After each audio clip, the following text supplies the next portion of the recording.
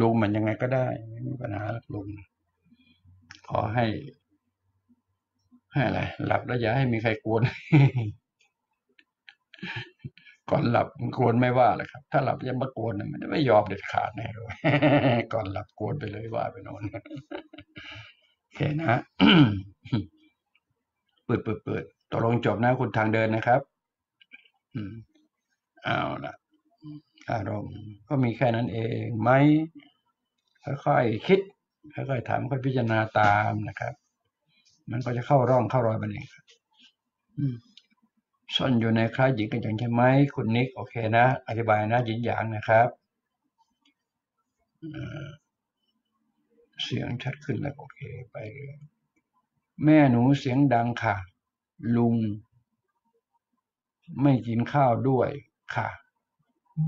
ดีแล้วไม่เปลือง โอ้ยคนไม่กินเนี่ยดีแล้ว มันไม่เปลืองเออไอ้แรงแรงๆมากๆ เดี๋ยวก็หมดแรง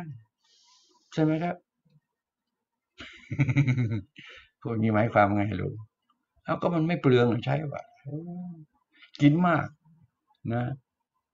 ร้องแรกโทษทีขออนุญาต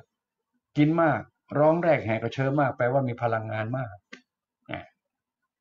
ไม่กิน ดีแล้วพลังงานจะน้อยลงน้อยลงใช่ไหมครับ ใช่นะทำไมจึงอยากจะให้ผู้คนกินจังเลย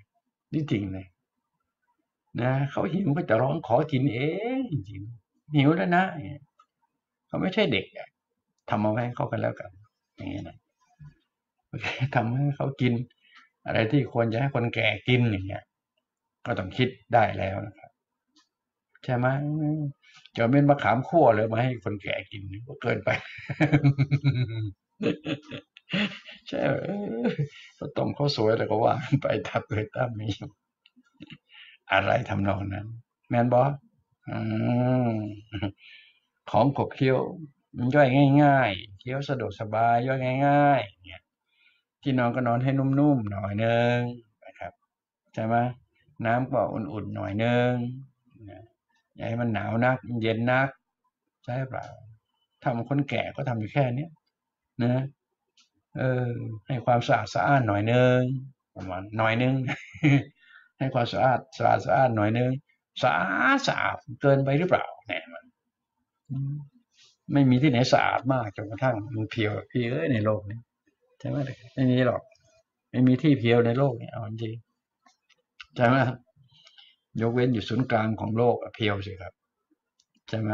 หรือแกนกลางของโลกเนี่ยเพียวสิครับ หรือเหนือนอกนอกโลกเพียวสิครับ อวกาศยังไงเพียวใช่ไหมครับไหนมาไปโนนเนี่ยฟังฟังนี่มันหลายเรื่องได้หลายอย่างนะใช่ไหมครับ